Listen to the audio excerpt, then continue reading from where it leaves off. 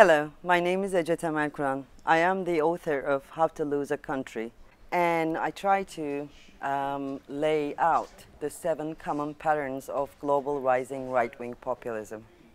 Um, I am from Turkey, and we have experienced the most devastating form of right-wing populism, as you might have already noticed. Uh, but this book is not about Turkey at all. It's about the entire world and probably about your country too.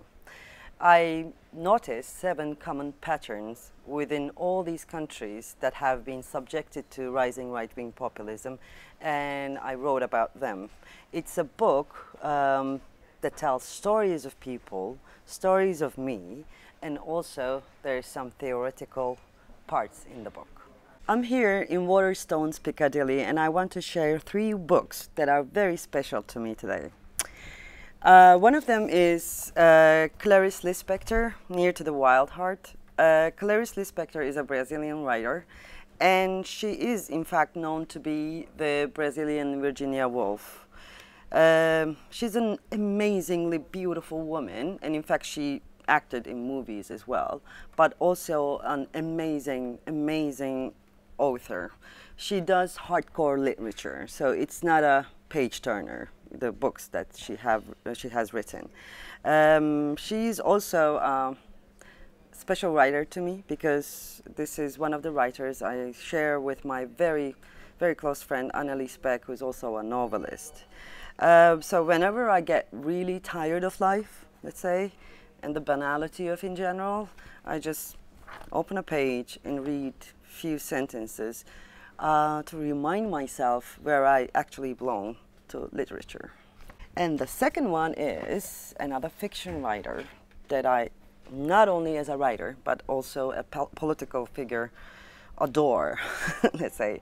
Arundhati Roy um, wrote The God of Small Things years and years ago. And she wrote this one novel, and she got, she got the Man Booker Award, as you already know. Arundhati Roy is a political figure, and I you know, admire her for being so local about several political issues that have that we have been grappling with lately. Um, she lately wrote a more political uh, novel called Ministry of, of, Utmost Happiness, and she has been criticized uh, after this novel for her new novel, and I find it quite unfair because she tries to put all those you know, impossible to untangle uh, issues into literature, and that is an amazing, amazing um, effort. I think I met her once years ago during the Iraq International Tribunal. Uh, I was a journalist, and she was there in the tribunal.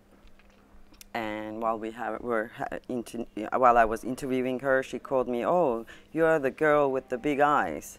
So I hope she reminds, remembers me still. I can never forget her. Here's a book from Hannah Arendt.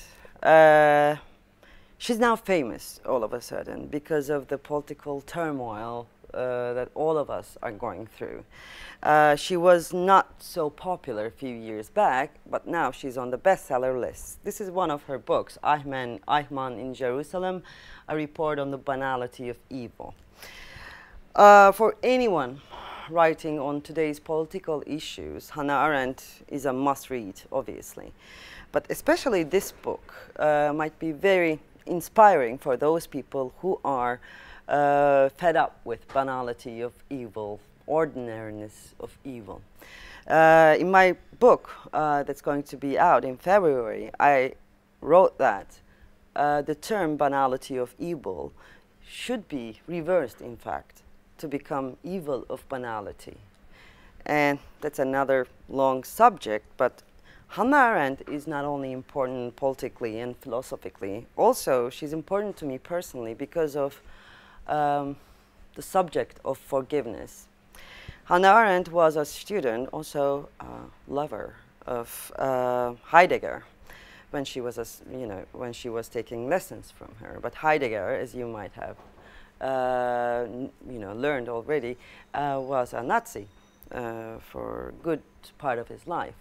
So Hannah Arendt was a Jew, she had to run away, uh, from Germany to United States, and then for 30 years, she thought if she can forgive Heidegger, and 30 years later, she went back to Germany.